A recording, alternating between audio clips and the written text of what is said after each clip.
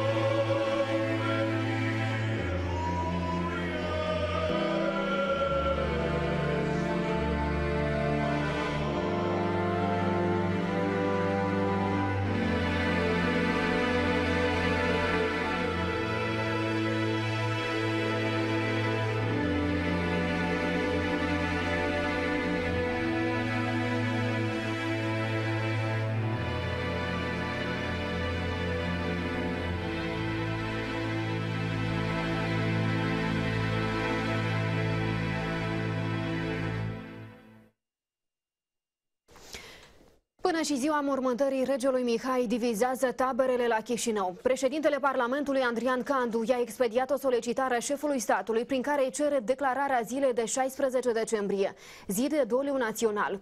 Igor Dodon respinge demersul și consideră inoportună decretarea doliului național în urma decesului unui suveran străin. Cu mai multe detalii la acest subiect vine colega mea Ileana Pârgaru. Bună seara! Se pare că sâmbătă, atunci când va fi înmormântat regele Mihai al României, nu vom avea zi de doliu național și aici, în Republica Moldova. Și asta pentru că președintele Igor Dodon a respins demersul președintelui Parlamentului Andrean Candu. Igor Dodon spune că respectă țara vecină și transmite repetat condolianțe poporului român, însă consideră că nu este cazul să decreteze zi de doliu național în ziua în care este înmormântat un monarh străin. Spre deosebire de Igor Dodon, român care refuză să cinstească amintirea fostului suveran. Astăzi zeci de oameni au venit aici la ambasada României din centrul Chișinăului pentru a-i aduce regelui Mihai un ultim omagiu. Aici la ambasada a fost deschisă și o carte de condolianțe, iar toți cei care l-au admirat și respectat pe regele Mihai pot veni mâine și poi mâine pentru a transmite mesaje de compasiune casei regale române. Republica Moldova este reprezentată la funeraliile regelui din România de o delegație parlamentară condusă de președintele legislativului Andrean Candu și vicepreședintele Iurie Leancă. De asemenea, la funeralii participă și primarul suspendat al Chișinăului, Dorin Chertoacă. El se află acum sub control judiciar, însă instanța a decis eliberarea pașaportului lui Chertoacă pentru câteva zile, anume pentru a participa la această înmormântare și asta pentru că Dorin Chertoacă este singurul cetățean din Republica Moldova care a fost decorat de Casa Regală Română cu distincția Coroana României în grad de cavaler.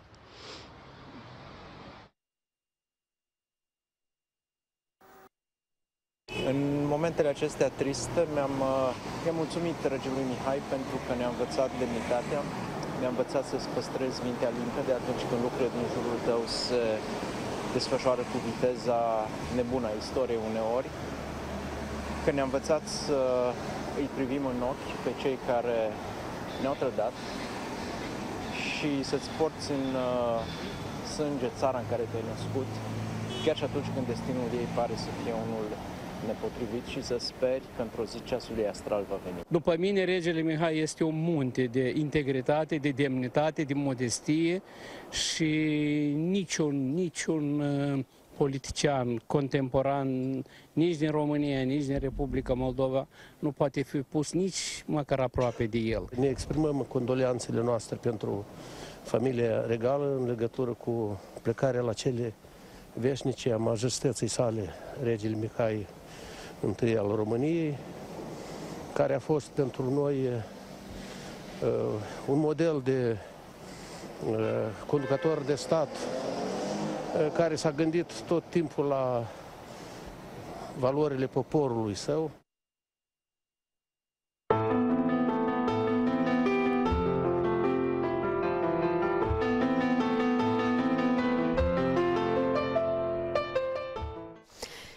Palatul Regal din București, unde este așezat sicriul cu trupul neînsuflețit al regelui Mihai, a devenit loc de pelerinaj. Mii de oameni au trecut deja pe la catafalc pentru a-i aduce un omagiu sau a-și lua rămas bun de la regele cu care istoria a fost nemiloasă.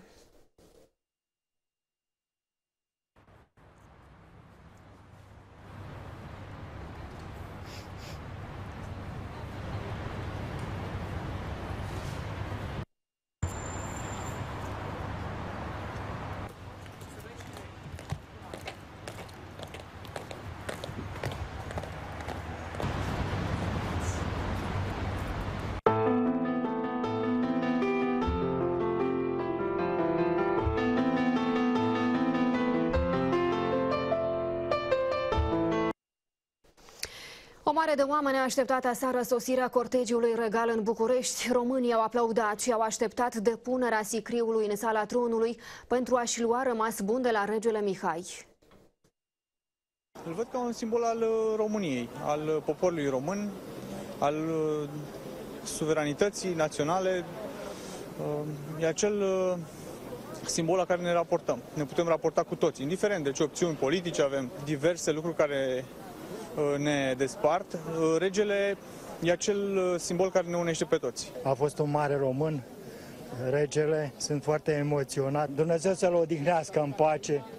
A fost un mare iubitor de popor și un mare simbol al națiunii române. Este o pildă pentru copiii noștri. Cred că sunt emoții pozitive care se, se transmit zilele astea. Din fericire am avut o profesoară care a știut să-l descrie foarte bine, evitând să, să transcrie din vorbele uh, foștilor securiști.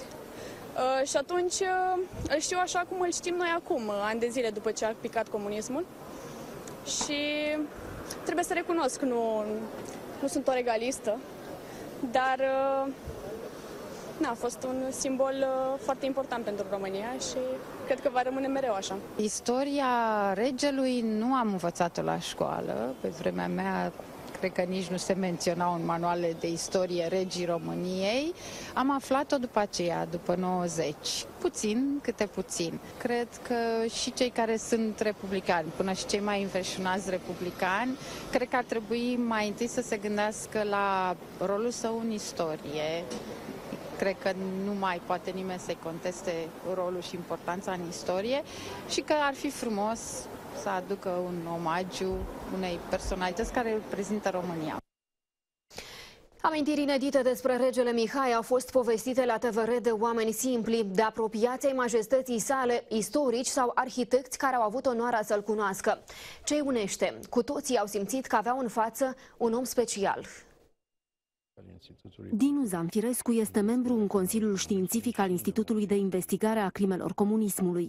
L-a cunoscut pe regele Mihai când era în exil. În favoarea majestății sale, la 8 noiembrie 1945, a fost și prima mea arestare. Aveam 16 ani, era elev de liceu și ca mai toți tinerii din generația mea, eram monarhiști, eram foarte apropiați de rege, ne simțeam foarte apropiați de rege el era un om tânăr, ne plăcea cum se prezenta, l-am întâlnit deseori în exil, de altfel l-am cunoscut în exil. Eram destul de nelămurit cu românii din exiliu și m-am dus la majestatea sa să fac un apel, să, să cheme acești fruntași a exilului românesc să poată înțelege între ei. Regele a însemnat uh, un model de eroism, de demnitate și uh, mai personal, așa, zic, de, în fine, de, de dragoste într-un fel. Invitat la TVR și prodecanul Facultății de Istorie a povestit cât de mult îl aprecia familia sa pe regele Mihai. Sunt convins că fiecare familie aproape găsește undeva în uh, trecutul său conexiuni cu acel trecut, cu acele imagini. Bunica mea, prin care mi s-a transmis această moștenire, avea 19 ani în 44. Deci era la vârsta la care tânărul rege probabil era admirat de toate fetele din România, chiar în acel context dificil. Și apoi regele Mihai a fost, și am, am simțit asta încă de atunci, un simbol a ceva ce ar fi putut să fie și a fost frânt. Emoția a fost primul sentiment pe care l-au încercat oamenii când au avut ocazia să-l întâlnească pe rege. Prima dată când am fost în prezența dânsului în legătură cu, cu catedrala de la Curtea de Argeș, i-am prezentat maestății sale proiectul, s-a uitat, erau mai multe perspective și a zis parcă sunt niște cozonăcei cu polele astea. Acum, majestatea sa Margareta, custodele coroanei, uh, pe atunci doar principesa Margareta se căsătorea cu Radu Duda, acum principele Radu, și am uh, avut ocazia să ajung la Lozan și să pot filma ceremonia uh, religioasă. Și în momentul în care îl vezi, este cu totul și cu totul altceva. Este vorba de pur și simplu sentimentul de iubire. El radia o bunătate și o seninătate. A fost un moment emoționant pentru mine atunci când l-am întrebat despre căsătoria fiicei cea mare. Mi-a spus, sunt un tată, sunt emoționat, fica mea se căsătorește cu un român.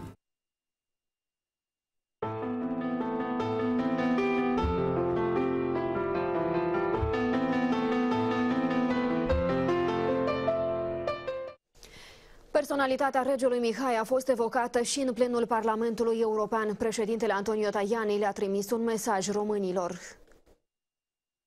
I'd like to recall the role of um, King Michael the, the, the First of, of Romania, uh, his role in uh, getting Romania on the side of the Allies.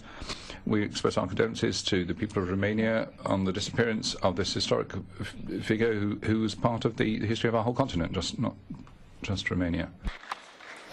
Capete încoronate, prinți, prințese, reprezentanți ai caselor regale și personalități cu sânge albastru din întreaga lume îl vor conduce pe ultimul drum pe regele Mihai. Tot mai mulți oameni confirmă că vor fi alături de ultimul suveran al României la funeralii la mănăstirea Curtea de Argeș. Unul dintre cei mai cunoscuți prieteni și susținători ai țării noastre, prințul Charles, va fi prezent la înmormântarea ultimului rege al României. Va fi însoțit de ministrul pentru Europa al Marii Britanii. Moștenitorul coroanei britanice are și legături de sânge cu regele Mihai, care era văr de gradul al treilea cu mama sa, regina Elisabeta a II. Era văr și cu tatăl său, prințul consort Filip. Regele Mihai a fost invitat de onoare la sărbătorirea a 60 de ani de domnie a reginei Marii Britanii, lângă care a fost așezat la fotografia de grup. I-a legat și prietenia. În copilărie, fiicele regelui au petrecut multe vacanțe în Anglia.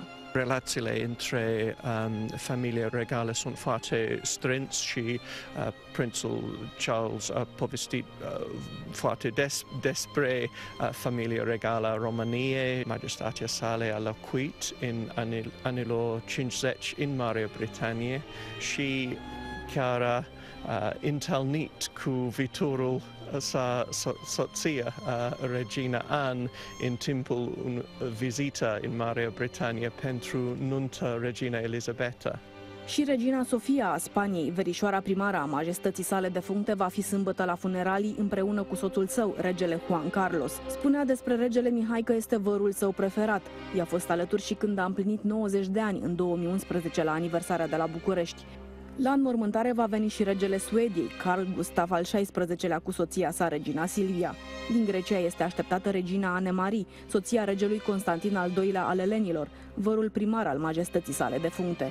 Unchiul său, regele Paul al Greciei, este cel care l-a ajutat să facă nunta cu prințesa Ana de Bourbon-Parma, o căsătorie care a legat România de mai multe familii cu sânge albastru. La funeralii și-au anunțat prezența peste 100 de personalități. Au confirmat între alții regele Simeon al II-lea al Bulgariei, principesa Muna, mama regelui Abdullah al II-lea al Iordaniei, principesele Isabel de Liechtenstein și Chantal a Franței, prințesa Astrid a Belgiei și soțul său, principele Lorenz, care este și membru al Consiliului Regal, marele duce Henri al Luxemburgului, principele Leca al Albaniei, familii nobiliare din Austria și Germania și nu numai vor fi alături de familia regală.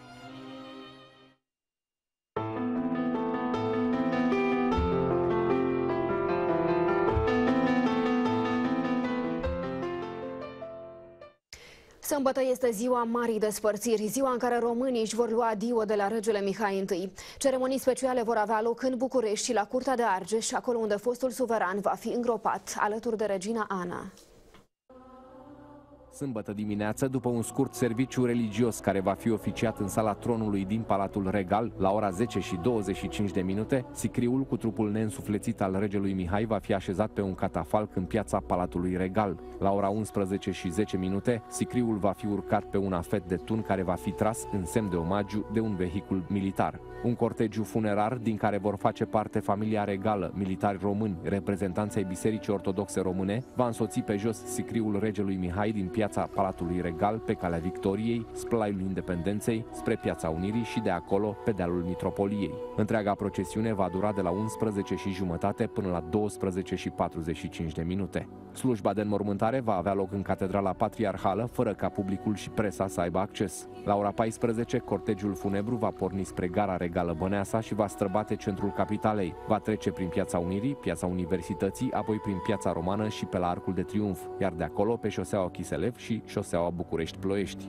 În gara regală Băneasa, publicul își va putea lua adio de la regele Mihai. Sicriul cu trupul neînsuflețit al fostului suveran, însoțit de custodele coroanei și de membrii familiei regale, va ajunge la curtea de Argeș cu trenul regal. Pe traseu, toți cei care vor să-i aducă un ultim omagiu regelui Mihai I sunt așteptați în gara orașului lor. Slujba de îngropare a regelui Mihai I se va ține în catedrala mănăstirii Curtea de Argeș la ora 17 și 50 de minute. Apoi, sicriul va fi purtat într-o procesiune pe jos către noua catedrală arhiepiscopală și regală, acolo unde, la 18 și 40 de minute, va avea loc ceremonia religioasă a îngropării. Publicul și presa nu vor avea acces. Noua catedrală nu va putea fi vizitată în primele șapte zile după înmormântare.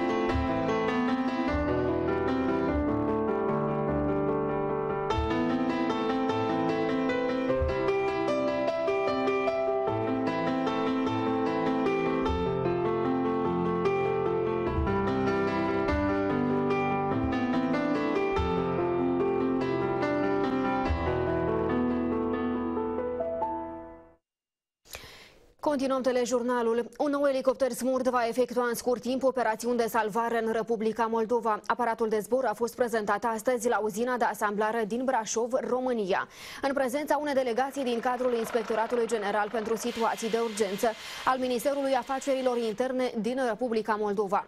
Aparatul de tip Eurocopter 135 îl va înlocui pe cel care s-a prăbușit la Haragâș în vara anului 2016. În următoarele zile acesta va ajunge la Iași, de unde va putea fi folosit folosit și pentru intervențiile din Republica Moldova. De la lansarea serviciului mobil de reanimare și descarcerare, piloții și medicii români au desfășurat 38 de operațiuni aeromedicale în stânga Prutului.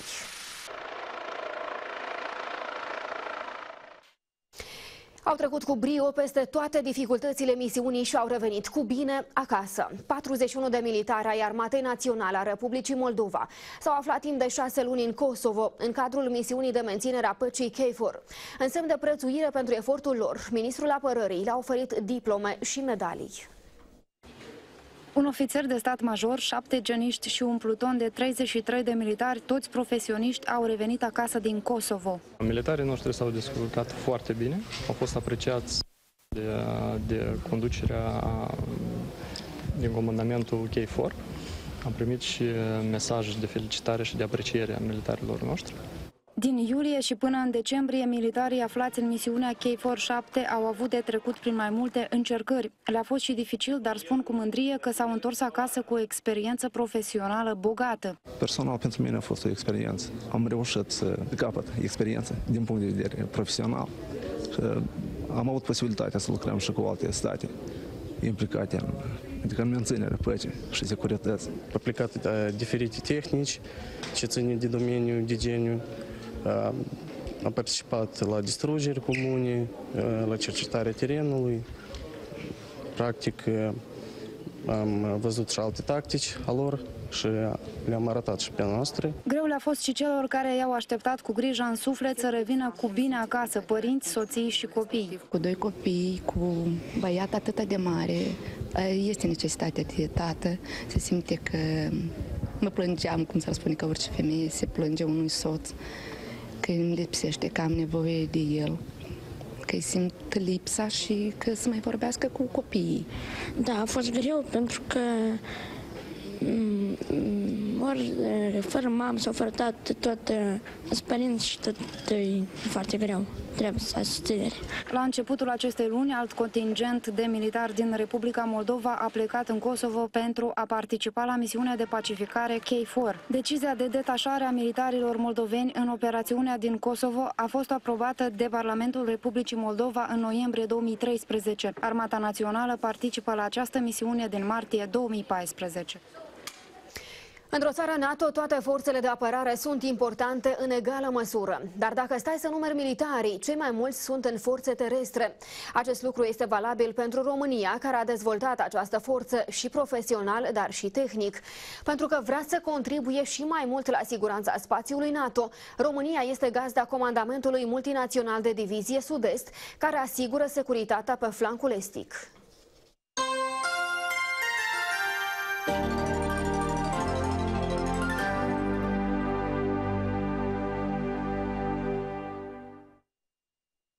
Locul forțelor terestre în armata României și în NATO este cel mai important ca forță numerică, reprezentând 52% din personalul de apărare. Deja de 13 ani, membru al Alianței, România continuă să modernizeze tacticile de apărare, dar și tehnica, iar procesul pare să nu aibă un sfârșit, cum nici tehnologiile nu stau pe loc. Pirania 3C uh, este în dotarea structurilor de manevră. Uh, e un transportor uh, foarte bun. Noi deja suntem uh, în prim proces de achiziția Pirania 5.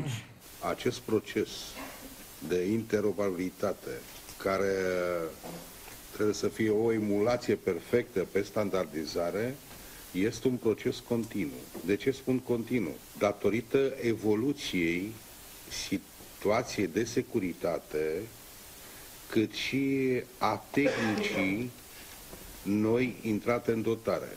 În 2002 nu se discuta de atacuri cibernetice. Statutul de membru NATO nu înseamnă nici pe departe că guvernul trebuie să stea cu mâinile în buzunare. Tocmai de aceea, din septembrie 2014, la summitul NATO din țara Galilor, s-a decis că e nevoie de un comandament multinațional de divizie sud-est, iar România a considerat că trebuie să se implice mai mult în structurile de comandă și de forță ale alianței. În februarie 2015 s-a oferit să găzduiască pe teritoriul său acest comandament NATO. Misiunea uh, pentru care a fost uh, înființat uh, comandamentul multinațional de divizie Sud-Est, vă rog să observați, este de a fi în măsură să asigure comanda și controlul unei operații NATO de tip articol 5, asta înseamnă operații de apărare colectivă, în calitatea sa de comandament de divizie în regiunea de sud-est, pe baza planificării din timp a NATO pentru a contribui la consolidarea flancului estic al alianței. Tot din 2015 la București se deschide și unitatea de integrare a forțelor NATO concomitent cu alte cinci unități în Bulgaria, Estonia, Lituania, Letonia și Polonia. Sunt de fapt centre de comandă capabile să coordoneze forțele militare din regiune în situații de criză. Putem fi angajați pentru exerciții multinaționale sau bilaterale pe teritoriul național sprijinim măsurile de asigurare NATO pe teritoriul României, începând de la aranjamentele tehnice pentru Host Nation Support, cu participare la conferințe de pregătire, grupuri de lucru și așa mai departe. Doar în 2017 forțele terestre ale României au participat la 58 de exerciții militare, 18 dintre ele fiind exerciții internaționale și procesul de studiu pentru aceste forțe este unul de înaltă calitate. Astăzi, forțele terestre se pot lăuda cu trei colegii naționale, două școli de aplicație și o academie, iar cei care nu vor să se oprească aici au posibilitatea să facă și o școală de doctorat în domeniu.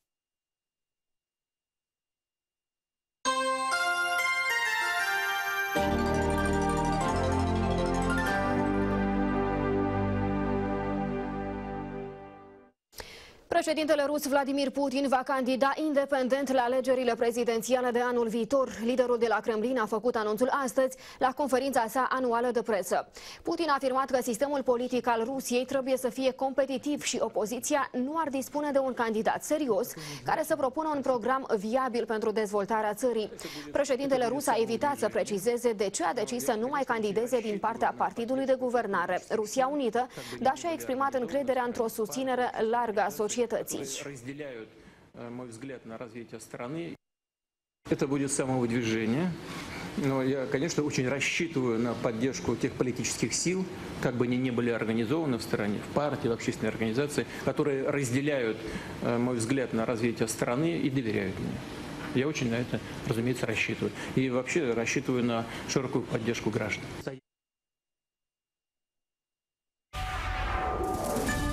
Doar două partide ar intra în Parlamentul de la Chișinău dacă duminica aceasta ar fi alegeri legislative în Republica Moldova. Este doar unul dintre rezultatele unui sondaj de opinie realizat la comanda Institutului de Politici Publice. Vă spunem mai multe imediat în telejurnal. Creșterea economică a Republicii Moldova rămâne nesustenabilă, iar prognozele economice pentru anul 2018 sunt la fel de modeste. La această concluzie au ajuns experții Centrului Analitic Independent Expert Group, care au prezentat concluziile anului economic 2017 și prognoze pentru 2018. Potrivit experților, în 2017, Republica Moldova a înregistrat o creștere economică de doar 3,5%.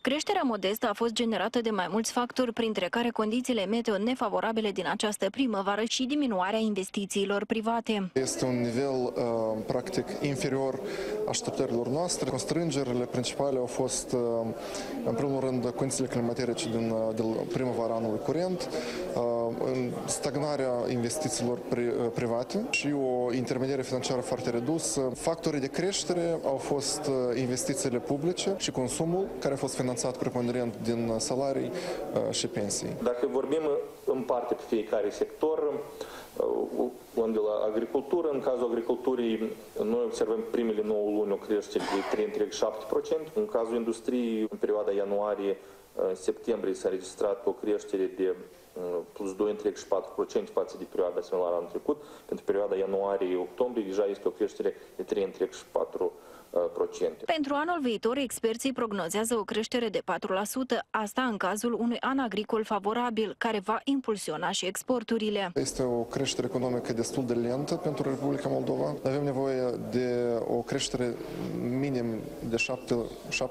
7%. Creșterea economică trebuie să fie și durabilă, deci din, cel puțin din două surse Uh, durabile, care sunt exporturile și uh, investițiile. Ameliorarea competitivității economice moldovenești și impulsionarea calitativă a creșterii economice pot fi realizate numai prin reforme, susțin experții. Revista economică Mega, concluziile anului economic 2017 și prognoze pentru 2018 a fost publicată de Centrul Analitic Independent Expert Group cu sprijinul financiar al Băncii Mondiale prin intermediul Parteneriatului Global pentru Responsabilitate Socială. Dacă duminica viitoare ar avea loc alegeri legislative, numai două partide ar intra în Parlamentul de la Chișinău pe listă. Cel puțin asta arată datele barometrului opiniei publice, cercetare realizată de CBS AXA la comanda Institutului de Politici Publice. Care este politicianul considerat cel mai corupt, dar și alte date, știe colega mea Svetlana Gore, care a analizat sondajul. Bun găsit! Dacă duminica viitoare oamenii ar ieși la vot să-și aleagă noul Parlament, socialiștii ar fi din nou pe primul loc cu aproape 48% din voturi. În legislativ ar mai ajunge și PAS cu 22,5%, dar și Partidul Platforma Demnitate și Adevăr, care ar acumula puțin peste 6% din sufragii. PDM și PCRM, partide care acum sunt în Parlament, nu ar trece pragul, la fel ca și partidul nostru și partidul Șor. Și în acest sondaj, șeful statului Igor Dodon domină clasamentul raportul privind încrederea oamenilor în politicieni. Acesta a obținut aproape 20%. Este urmat de liderul PAS, Maia Sandu, cu puțin peste 8%, iar președintele PPDA, Andrei Năstase, a acumulat 2,5%.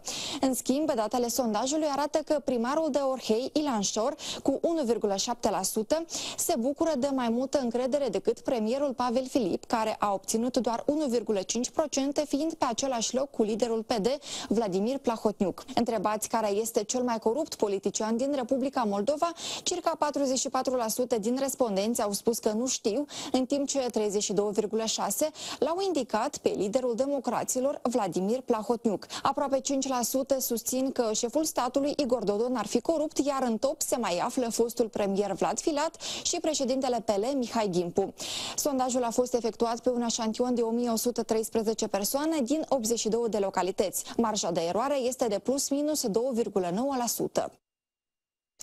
Guvernul de la Chișinău a aprobat semnarea unui contract de finanțare între Republica Moldova și Banca Europeană de Investiții privind interconectarea electrică cu România. Valoarea împrumutului se ridică la 80 de milioane de euro. Contractul prevede construcția unei stații electrice la Vulcănești, o linie de transport între Vulcănești și Chișinău și extinderea stațiilor de transformare de la Chișinău și Vulcănești. Strategia energetică 2030 prevede de altfel posibilitatea dezvoltării proiectelor de interconexiune cu România, menținând în paralel posibilitatea de a activa în regim sincron cu sistemul electroenergetic al Ucrainei. Realizarea proiectului va oferi un nivel de securitate sporit și prețuri mai bune pe piața autohtonă de energie electrică, accesul permanent la piața regională de energie electrică, iar în consecință un preț final al energiei mai puțin împovărător pentru consumatori. De asemenea, proiectul va oferi posibilitatea de a alege fără constrângeri sursa de achiziționare a energiei, fie din est sau fie din vest. Contractul va intra în vigoare nu mai târziu de 24 de luni de la semnarea acordului de împrumut. Suplimentar la contractul semnat cu BI în valoare de 80 de milioane de euro, Republica Moldova va semna două acorduri de împrumut cu BERT și Banca Mondială în valoare de 150 de milioane de euro și un acord de grant UE în valoare de 40 de milioane de euro. Veste bună pentru călători, chiar în ajunul sărbătorilor de iarnă, mâine va fi lansată cursa directă spre Geneva de pe aeroportul internațional Chișinău. Pentru început, noua rută va fi operată de două ori pe săptămână în zilele de luni și vineri. Decolarea din Chișinău va avea loc la ora 13 cu aterizare pe aeroportul din Geneva la ora 14 și 45. Întoarcerea din Geneva va fi preconizată pentru ora 15 și 40, iar pe aeroportul din Chișinău avionul va ateriza la ora 19 și 10. Prețul unui bilet va porni de la 79 de euro. Premieră vinicolă în Republica Moldova, cel mai bun sommelier din lume a nobilat astăzi vinurile autohtone prin combinarea lor cu soiuri europene. Astfel, tradiționalele rară neagră sau fetască albă au căpătat nuanțe unice de gust, culori și arome. Vinurile create de expertul suedez Andreas Larsson vor fi degustate mâine la vernisajul vinului.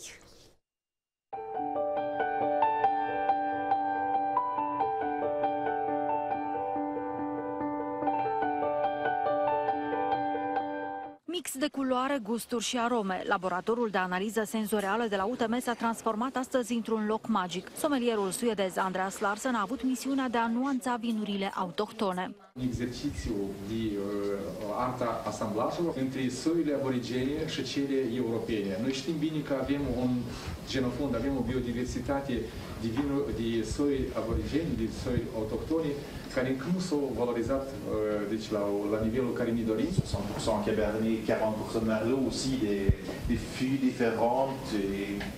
On sait que même en quantité faible, comme celle poivre, si on rajoute 1%, 2% de certains cépages, Primul asamblaj a avut la bază fetească albă. După zeci de pahare rotite, mirosite și degustate, expertul a încercat să creeze o nouă licoare.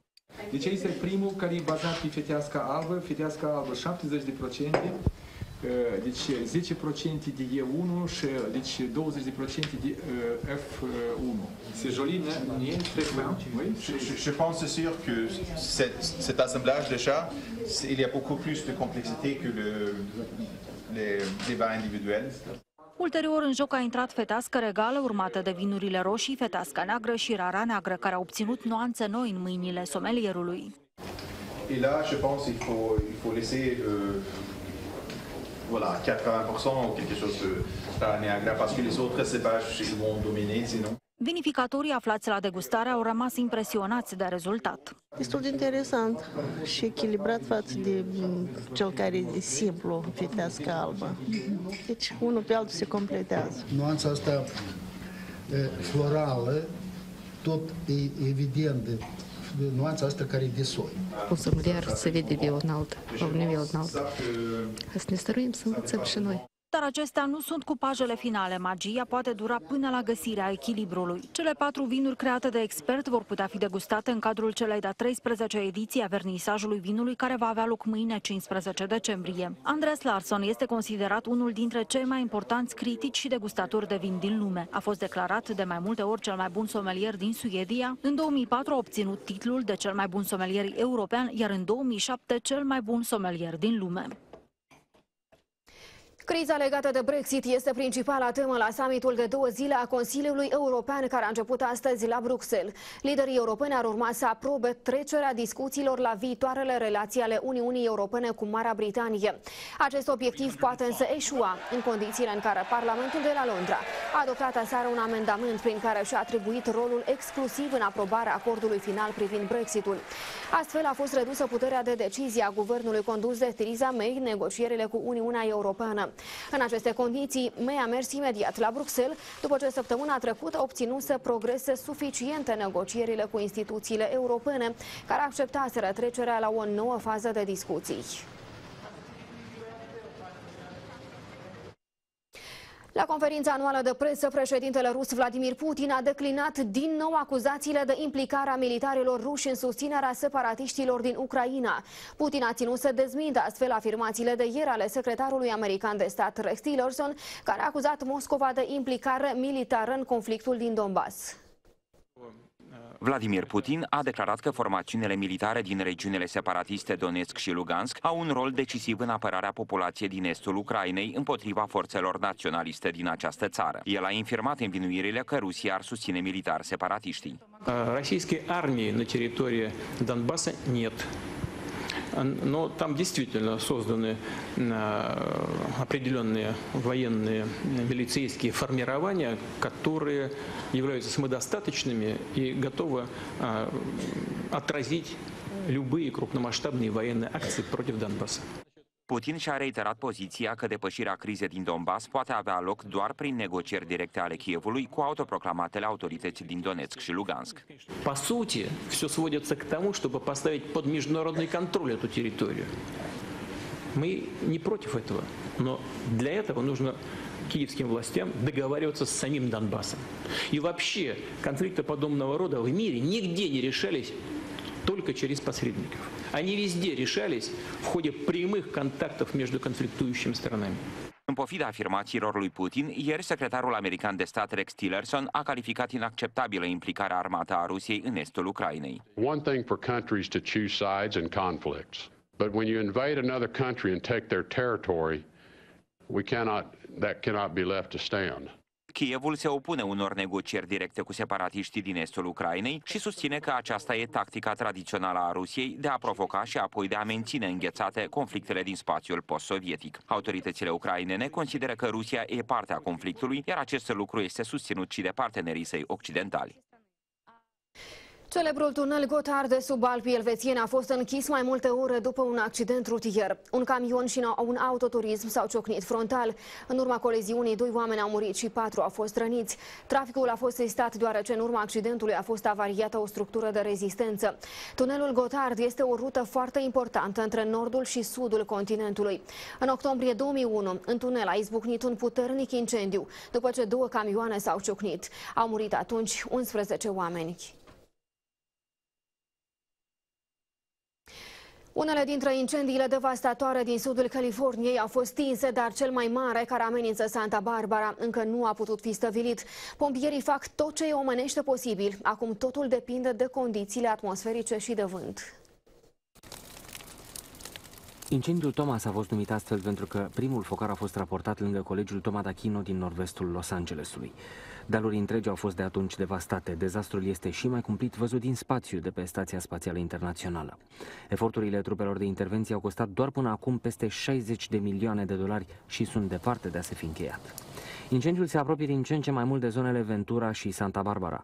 Mulți oameni stau cu bagajele făcute la ușă, pregătiți să plece în orice moment. Pentru unii dintre cei care au fost evacuați, investiția în construcțiile solide a meritat. Au la ce să se întoarcă.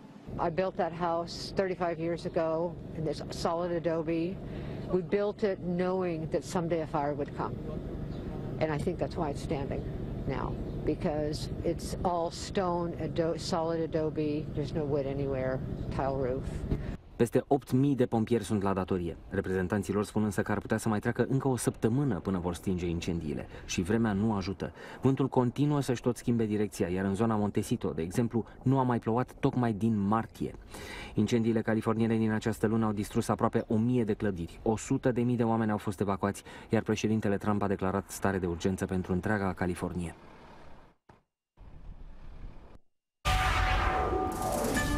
Spaniolul Francisco Núñez Olivera este cel mai longeviv bărbat din lume, pentru că a împlinit astăzi venerabila vârstă de 113 ani. Cum l-au sărbătorit cei apropiați, vedeți mai târziu în telejurnal. De astăzi, bunicii și nepoții își pot da întâlnire pe platforma online 60plus.md.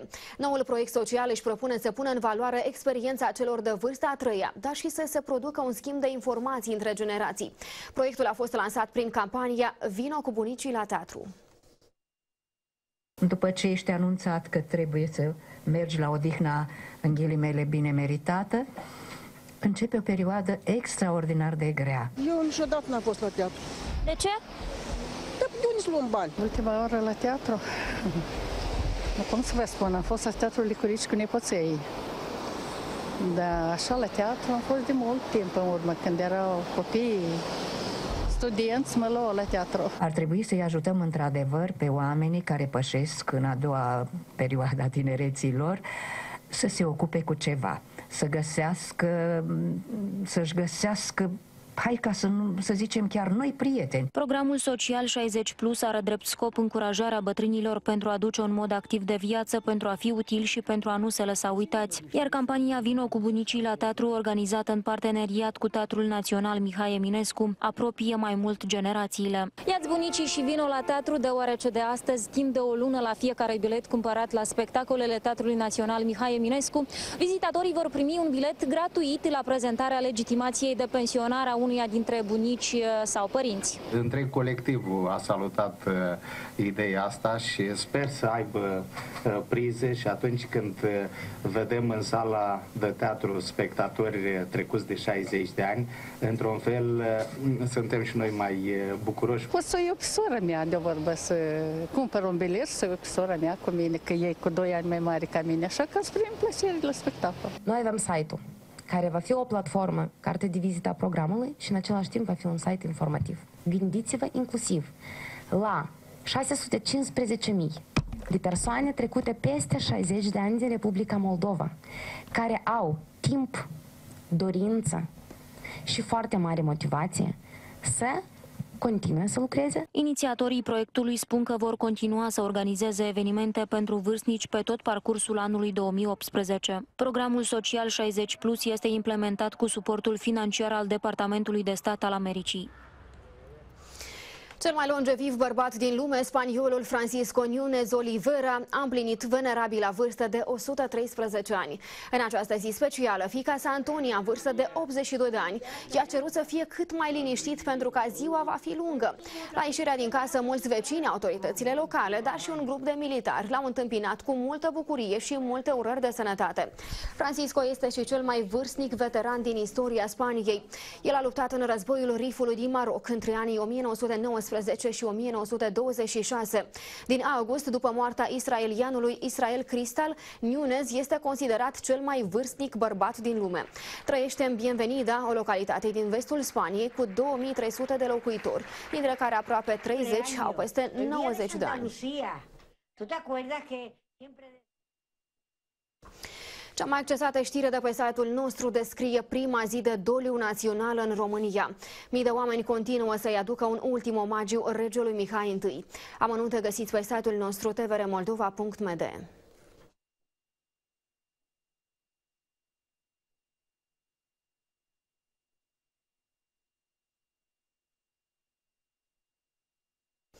Urmează informațiile despre cotațiile principalelor valute.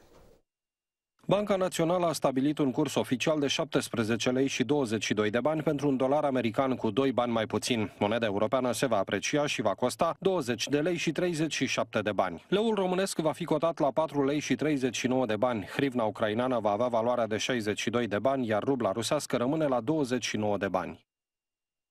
Să vedem acum previziunile meteorologilor pentru următoarele ore.